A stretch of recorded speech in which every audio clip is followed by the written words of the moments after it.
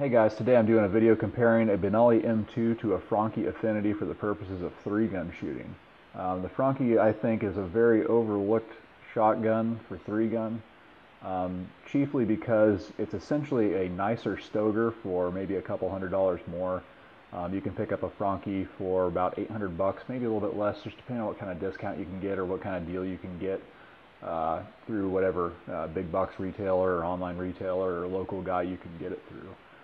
Um, the differences between the Affinity and the Stoeger is that the Affinity is made by Benelli in Italy. Um, see right here it says made in Italy. I'll zoom in a little bit. The uh, made in Italy markings and you also if you flip to the other side it says right here Benelli Armi SPA and up here Benelli USA Accokeek Maryland. So what you're getting is basically Benelli's idea of what a Stoeger should be, uh, not made in some third world crap hole. Um, it's pretty obvious from looking at the guns and from looking at Stoegers. The finish on, like, for example, the receiver, uh, the finish on the bolt, uh, lots of little things remind me of an M2 rather than a Stoeger. Um, it's just in general a much nicer gun. So the difference between the Benelli M2 and other Benellis uh, and the Stoeger is on a Stoeger, instead of having the recoil spring inside the buttstock, uh, there's a tail on the end of this bolt, and as you pull the bolt to the rear, it pushes a spring that drops at an angle into the stock, and there's a tube back here that that spring rides in. So instead of doing that, the Stoeger system, there's actually rails like you would have on a pump shotgun, or probably other semi-auto shotguns that have gas systems. Maybe some of them, I don't know um, but more similar to what I'm familiar with on a pump shotgun. That right up here, and there's a spring inside of the handguard, and that's your action spring. It doesn't control, um, it doesn't have anything to do with uh, uh, the operation of the gun necessarily, because it's still recoil operated, it still has the Benelli inertia system, so under recoil this bolt goes forward just like the M2. Um, but the action spring is up here under the handguard instead of in the stock. Um, so I'm going to go ahead and take these guns down. Um, it's it, this, the the affinity is very similar to uh, uh, a Stoeger in, in, that regard, so I'm not going to go over that in detail. I'm going to go ahead and strip the guns down right now. One quick thing I want to note, uh, for whatever reason, the charging handle on the Franke is absurdly difficult to remove. Um, I can remove the, uh, the, charging handle on my M2 just by yanking it out with my bare hands. I cannot do that no matter how hard I try on the Franchi. I don't know what they did with the factory charging handle, but I've got pliers already set up just so I can get a good grip on this and keeping in mind all this is under spring tension uh, from this spring up here. So as soon as I yank this out, that's what's stopping this bolt from going further forward. So I'm going to keep my finger on this bolt yank up. There we got it. Let this guy come apart. And uh, the Benelli, this is a Taran Tactical uh, charging handle. All the Benelli charging handles will probably work with that. So you can see it's got the, uh, the slot. These are, zoom in for this too.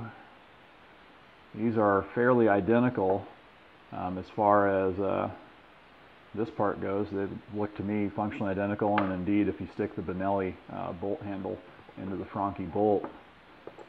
I'm going to say Franchi and Franchi a whole bunch of times, so just ignore that because I'm an idiot. It goes right in there, seems to work just fine, and it pulls out with the normal kind of amount of tension.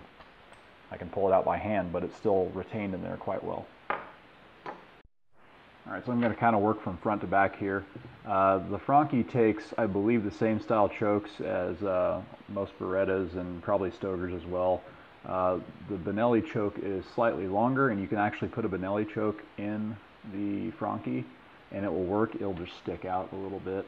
So this right here, this is the Franchi barrel and these are both 26 inch barrels. Um, this bead sight looks exactly like the one that came on my Benelli from the factory. Um, the, the sight that I have on here is a TruGlo, so it's a little bit different. Um, but yeah, not much difference in terms of uh, the finish or the build quality on the Franke barrel at all. I would say they're roughly equivalent. Uh, the one thing that I will note is if you go back towards uh, the end of the barrel, you can see that the hard chrome on the Benelli is on the outside of that too, whereas the Franke just has what looks like parkerization on the outside. Um, but I believe if you look inside, and if you look inside the barrel on the Franke, it does appear that they used hard chrome for the actual barrel lining itself, just not the, uh, the sort of barrel extension that locks into the receiver back here. Okay, kind of big picture overview of the receivers. Uh, again, the receiver on the Franke, it has uh, longer uh, magazine tube from the factory. It's a four round tube uh, without any sort of extension. Um, it is held on, if you can see this, got a retentive cap, so the spring is actually still in there. Uh, my Benelli was originally an M2 Tactical, and it did not have any sort of retentive cap, although I don't know if the M2 Fields have that cap that you need like snap ring pliers or something similar to get out of there. Um, the action spring for the Franke is up here. That's all that is. There's no gas system up here. Again, it's an inertia operated shotgun. Uh, working the way back, I've done port work on this M2, so this is not factory. But on the M2, the receiver, this sort of angle that's here, continued straight all the way down here, and there was a nice hard right edge all the way up. It's a very difficult uh, port to load into. And the affinity from the factory, although it's not great, they have sort of recessed the port. They didn't bevel it. I, I wish they would have beveled it from the factory just to make loading a little easier. Um, but it's not bad. It could be a lot worse. And one thing that you'll notice right away is when you do want to do loading work, you can see my M2's serial number is about a millimeter from where I cut into it. The Franke's serial number is way back by the trigger guard. If you're doing port work, there is nothing up there for you to cut into. Either, I mean, unless you go all the way down really far into here and you start removing the uh, uh, where it was made in the importer Benelli USB, uh, sorry, Benelli USA Corp, Accokeek, Maryland. That's the importer's mark since this is made in Italy. Um, you're not going to cut into anything important on the Franke. Zoom back out. Uh, working your way back I take down the exact same way, um, and I adjusted the stock on, uh, on, on the Franke earlier today at the range, and they seem to have the exact same shim system as well. Um, you can see there are some cosmetic external differences. The shape of the trigger guard externally is a bit different, um, and if you look at the trigger, there's a flat back here on the edge of this trigger, corresponding to the flat back here, whereas you've got a curved trigger guard on the M2 and the trigger itself is curved too. Um, and one thing I want to point out, if you look at this, I already stopped at the gunsmith and had him uh, actually uh, mill off the dome on the bolt release and drill and tap it. We're going to go ahead and put a uh, an oversized Taran Tactical bolt release on there. So that's the only thing that's really been changed on this Franke so far. Uh, working your way back, I've got actually a Comfortech stock on my M2 that came off of a Supernova with a little bit of Dremel work. It fit right on the M2. Um, this came originally with a stock that looked a bit more like this. Um, this Franke is a youth compact model. Uh, it's a young girl that's learning three gun that's going to be shooting this particular gun. So we got her the compact model and the length of pull on that model is about two inches shorter than on a standard M2 or Franke or a Stoeger. Um, there are compact models of the M2 and the uh, the Stoeger, but I believe they're they're almost like I think it's something like uh, oh I don't remember maybe like five eighths of an inch or three quarters of an inch longer than the Franke. The Franke had the shortest uh, compact stock, so that's part of the reason why we went with this shotgun for her because she's sort of small statured at the moment, and as she grows, we'll be able to add spacers on back here for her. Um, one thing I did note, I, I assume they did this so you couldn't possibly put a Comfortech stock on an Affinity, um, but I mentioned this stock is off of a Nova, and the Nova, even though there's no spring back here, it actually has, has a dummy tube uh, that the stock bolts to. So like M2 stocks and Nova stocks, Supernova stocks, a regular Nova doesn't have interchangeable stocks. Sorry, a Supernova stock um, are more or less almost interchangeable. Uh, the Franke does have that little dummy tube back here, but it's much shorter. It comes up like right here, so you can't use M2 stocks on it without, I would think, probably removing the uh, uh, finding a tube off of another gun, and hopefully if the threads matched, you could put an M2 tube on it, and then you could put an M2 stock on it, because I think right here, they're virtually identical, but don't quote me on that because I haven't tried it, I'm just sort of supposing at this point. Alright, to keep things simple, I've uh, drawn a dividing line on my paper here and notated which side is Franke and which side is Benelli. Um, looking at the bolt and bolt carrier again, they do seem very, very similar. Um, the finishes, all of it very similar. Obviously, you don't have Benelli inertia system written on, or engraved rather, into the bolt carrier on the Franke. But the proof marks even are identical on, on both of them. I assume this stuff is probably made in the same factory. Um, you can see uh, the, the, carrier rails on the Benelli are slightly different and different shaped from the Franke. And the reason for that is because the Franke has to interface with this carrier back here. So when you stick that in, you get the bigger picture. It's actually pretty much the same shape. Uh, they take down similarly. Obviously the Franke doesn't have the tail on uh, on the end of it, but it's got the same style firing pin. You just remove this pin here that retains it. You can pull the firing pin out and then you can pull the bolt out and the inertia spring is inside there as well. I'm not going to take it apart. That's pretty simple stuff. Um, the takedown pin itself is looks identical to me. Um, the trigger groups are interesting because it seems like other than some minor things like on the Franke, your cartridge drop lever is black and on the uh, M2 it's chrome. I'm sure there's some Benellis that have black ones too, but on the on my particular M2 it's chrome. But it seems like the external portions of it are really what is truly different. Um, from here down, it's just styled different. There's an F stamped on the bottom of the Franke uh, carrier, or sorry, the trigger guard, for instance. And on the Benelli, it's it's rounded, and then it's got sort of a uh, cut out here for your fingers behind it, whereas on the Franke it's just got a flat back here. Uh, the Benelli is also relieved for that triangle shaped safety. You can see this here, I'll zoom in a little bit. So it's got a relief molded into this uh, trigger guard for that safety because it's reversible. And I'm pretty sure that we're going to be able to get that oversized Taran Tactical safety to work here too. We're just going to need to do a little bit of Dremel work to relieve inside of there and make room for that triangle shape because the Franke comes from the factory with just a plain round safety. I'm not sure if the Stoeger guys have to do that same sort of thing to get the uh, Taran Tactical safety to work on theirs, but I, I know there are some guys who have done it. Um, so moving on from that, the more important part when it comes to three gun is the carrier. You can see on my Benelli, which is this one right here, I have a welded and extended carrier. This started life as a regular factory carrier that got sent off to Jeff Cockrum at C-Rums, and uh, he extended that and welded it up for me. Um, I additionally have uh, knocked off some edges on the interior here and polished this, and it's got some scratches on it from use.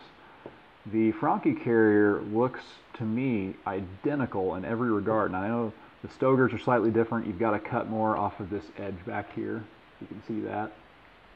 On the Stoeger, you can use a Benelli carrier, but you have to cut into this and make room, and there's also a notch.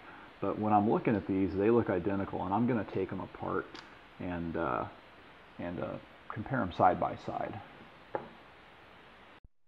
All right, I got the trigger group stripped down, got the carriers out here, and just comparing them side by side, I don't really see any differences. I mean, except where mine's been modified, they look identical and just you know lining everything up.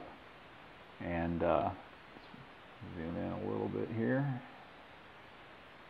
Lining everything up it looks pretty much the same. I mean every all the holes line up and everything and for all I know it's the exact same part made on the exact same machines and it wouldn't surprise me a bit um, so what we're going to do for this gun is we're going to actually uh, skip uh, shipping this off to Jeff because we want to kind of we're, we're training uh, this young lady at the moment, so we want to get her up and running as soon as possible. So we're going to get a Taran Tactical carrier and uh, test that out on this gun. I expect it to run well because honestly, I mean, if there's any difference between these two parts other than what's been modified on mine, I just can't see it. Um, they they just look identical, which is good news because on the Stoegers, they're slightly different, and if you don't have a little know-how um, you're gonna you're gonna have to spend some time modifying that carrier and making it work with the Stoeger. Uh, moving on from there, other parts one at a time. Let's see, hammer. Franke over here, Benelli, this is the Benelli, this is the Franke. Uh, again, for all the world, it looks to me, and I'm going to very carefully try not to confuse these when I'm going to put them together. They just, they look like it's the exact same part.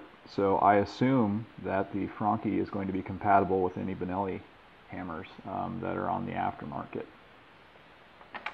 Um, not a very common piece, but the, uh, the bolt stop tooth, don't see any differences there.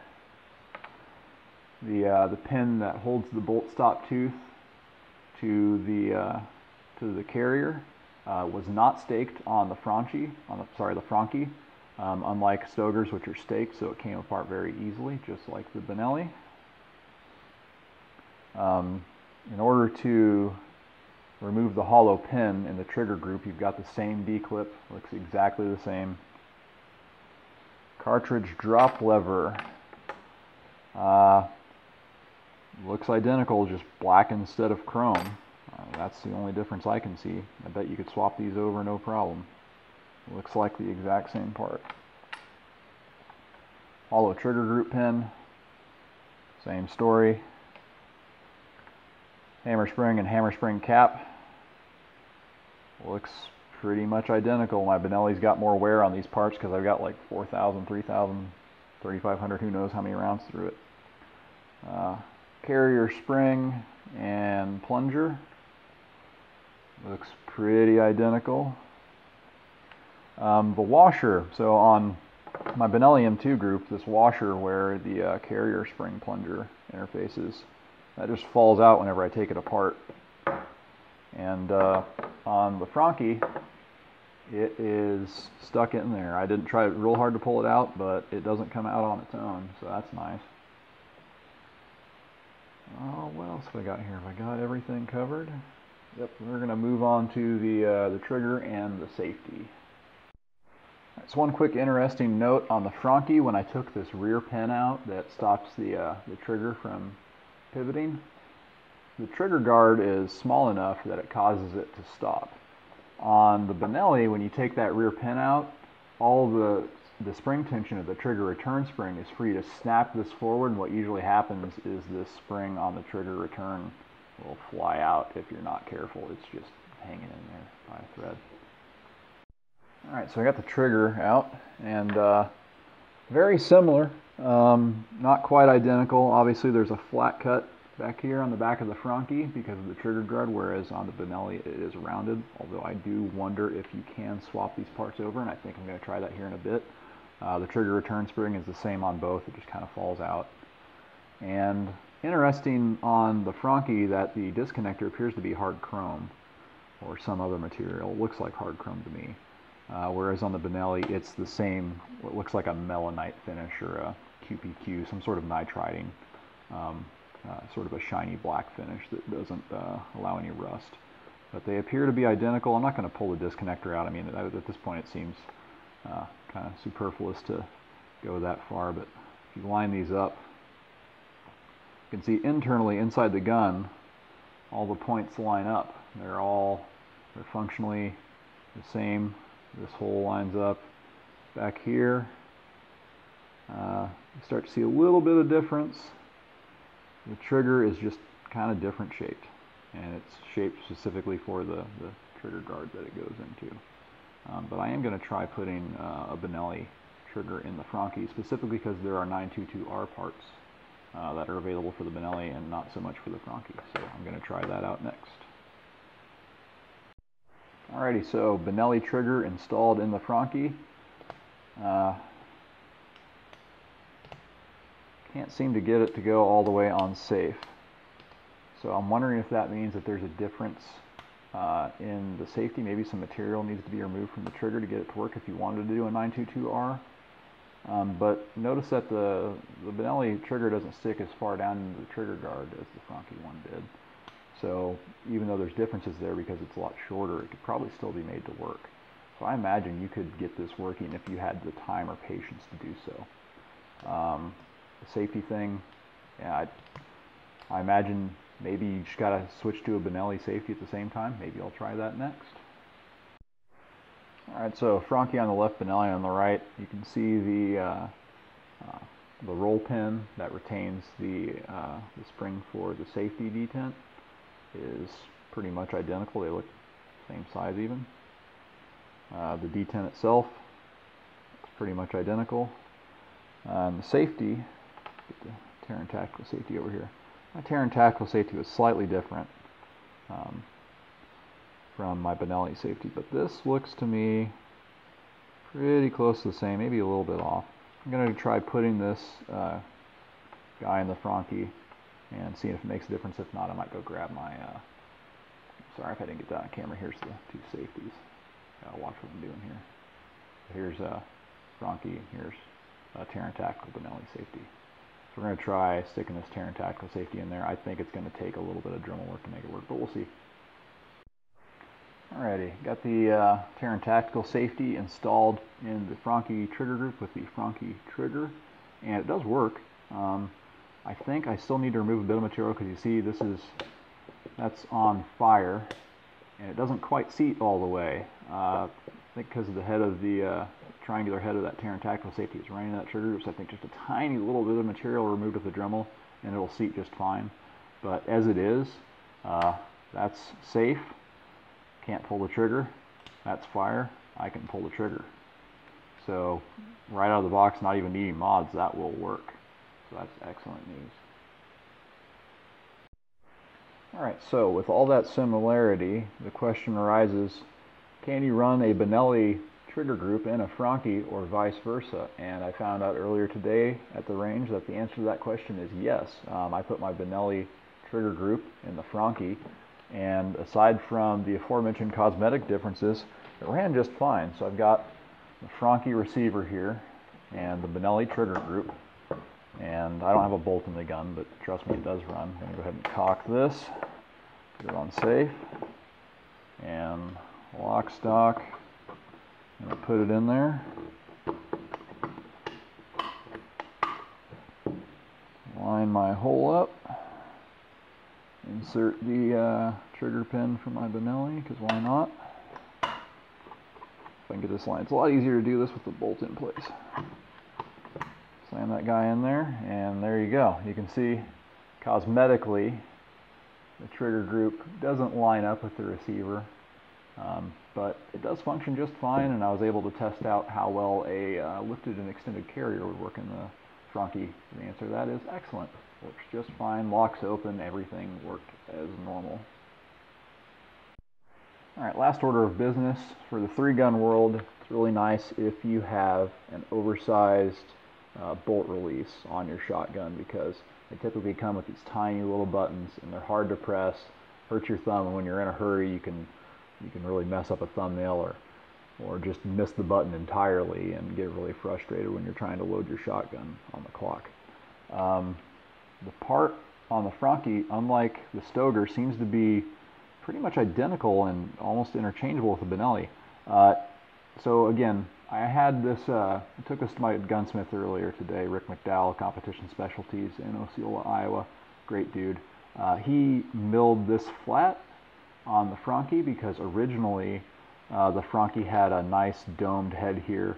Uh, the Benelli comes flat and serrated. It'll really mess you up if you hit it wrong for speed loading. I had him uh, drill and tap that too. But the Franchi had a nice smooth dome surface and it's actually larger uh, than the Benelli's. And when I saw that I thought, huh, maybe the, uh, the hole in the Benelli's receiver is smaller to compensate. And nope, you can actually drop the uh, Franchi uh, nice bigger button right into the Benelli receiver and works.